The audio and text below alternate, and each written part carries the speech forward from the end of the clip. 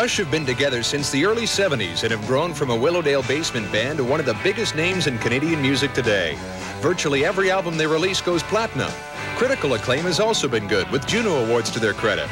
Earlier this month, Rush released their eighth album, Permanent Waves, destined to be their biggest release yet.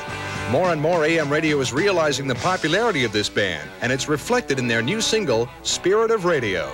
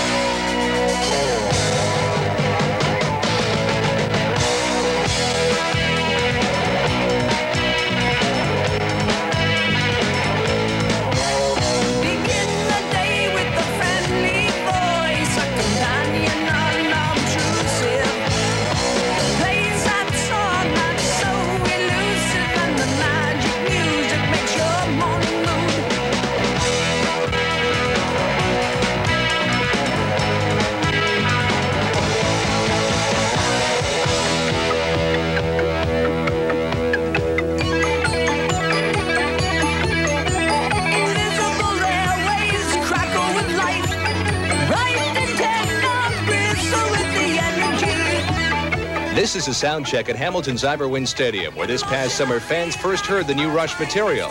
This is the first time they've toured with their new songs, honed them down, then gone into the studio to record. We had time to write it and rehearse it and work on it prior to recording, which we usually don't. We usually go into the studio and we have some ideas and some songs prepared, but for the most part it's get it together, rehearse it, arrange it, and then uh, record it straight away.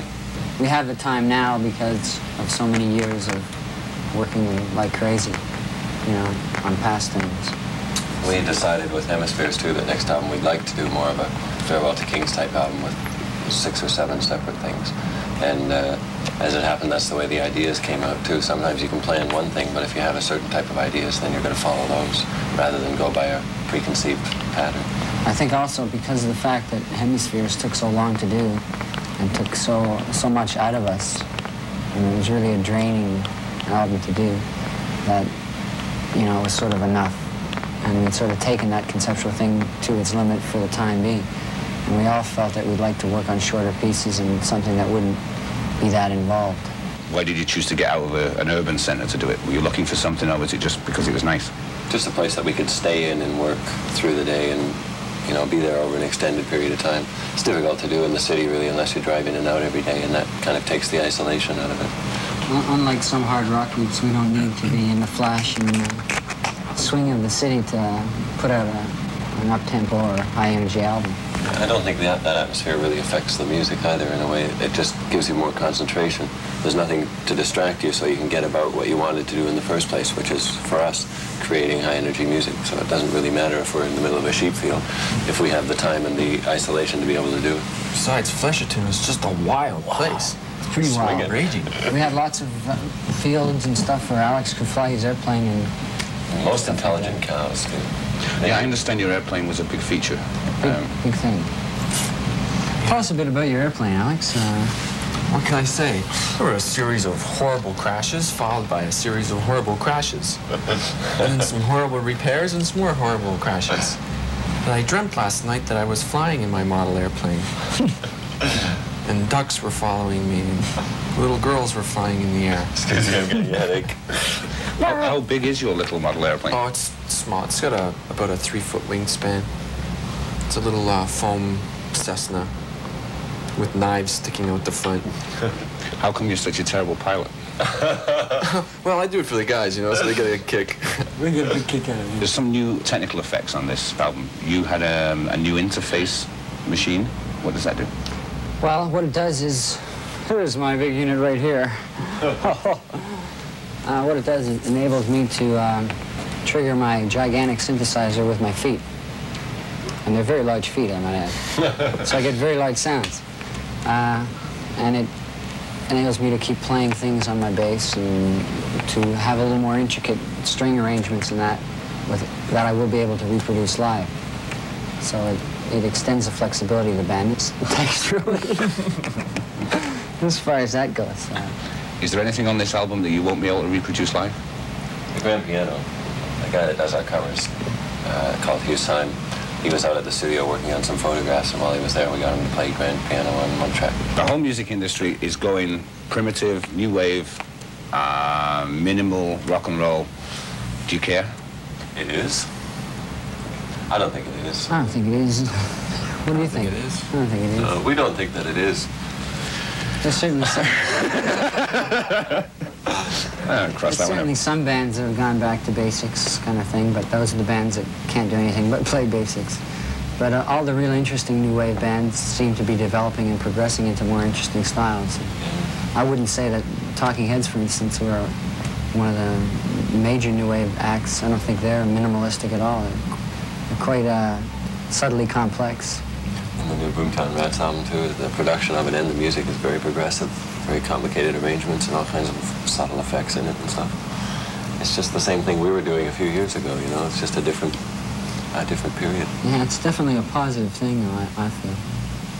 It's really, really giving, uh, adding a spark to what was becoming a complacent industry. When you first started out, the Canadian music industry didn't have time for you.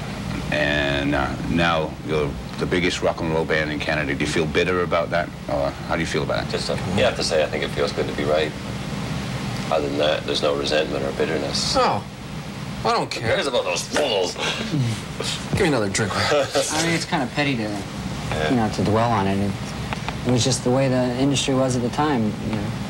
I mean, it's not, it wasn't any different for any other band that was playing at the time, you know. We just happened to be very fortunate and to, to have a management company that could push us in another direction when, when uh, Canada said no and the United States said yes, so. I mean, every, every musician working in Canada has experienced the same thing for sure.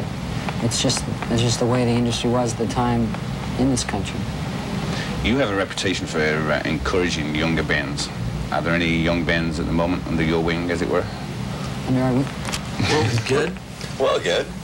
well, I, I just, uh, you know, we've we've taken a lot of Canadian bands on the on the road with us. We've, we've taken Max Webster on the road with us. We've taken uh, April Wine on the road with us. You know, various groups. And, and recently, I've uh, produced an album by a, a local band called Wireless. This is a plug. His book is coming out. This is a, this is a plug for a oh, wireless album. They've been friends of mine for a long time, and it just came up the opportunity to help them out in the studio, so I did. So, from I guess from that point of view, we help other bands. I guess. I understand your road crew is a band in its own right. Yes, the fabulous projectors. Watch for them. In your stores soon. Coming to your town. Yeah, they recorded a record while we were recording our record. They recorded on a little cassette player, and we bumped it up into 24 track and fixed it up a bit. Sounds cool. Great. You guys uh, share the same management company as Max Webster, but your relationship it goes a little beyond that. I understand you're uh, all mates. Yeah. We've worked with him a lot, done so many shows with Max across Canada and in the States as well, and in Europe last time they came over with us. So we become just like old friends. Are they any good at volleyball? Yeah, Yeah, they are. Not bad. Real Sticks, good. he's hot. Yeah. They came up to uh, the studio and played with us one night, and pretty Heidi hot was players. got a mean serve. Yes, Pye's got an excellent punch. overhand serve. Quite different from the rest of us. Yeah. They all Interesting serve underhand. He's got the, the slap, the got the- overhand. You did what every young Canadian basement band dreams of. I mean, you actually did it. You got out of the basement, and now you're, you know, one of the world's major headliners, all that kind of stuff. How far do you feel from those kind of kids now? That's a hard question. It's hard to gauge that, you know. It's like saying how far do you to what do I feel from myself when I was 18? You know, a long way, obviously. Still the same in some ways.